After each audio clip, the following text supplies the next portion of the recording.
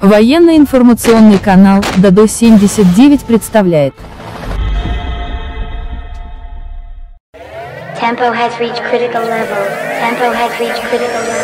Израильская компания Elbit Systems представила на видео испытание комплекса активной защиты Iron Fist Железный кулак.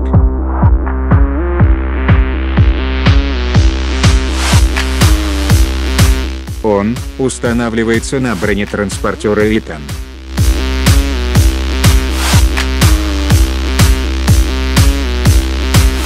Как передает Азиас, со ссылкой на российскую газету, Ирон Фейст обеспечивает высокоэффективную защиту от противотанковых угроз, повышая тем самым живучесть бронетехники.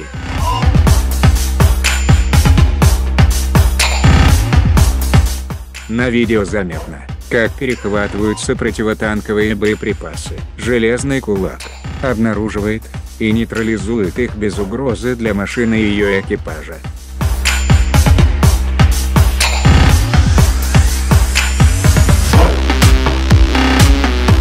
Комплекс представлен в двух вариантах.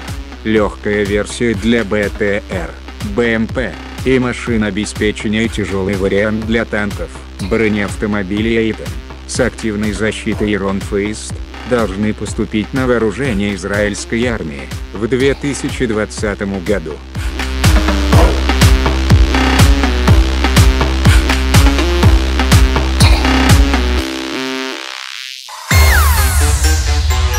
Вот и все. Что думаете вы? Пишите в комментариях. Спасибо за просмотр. До новых встреç.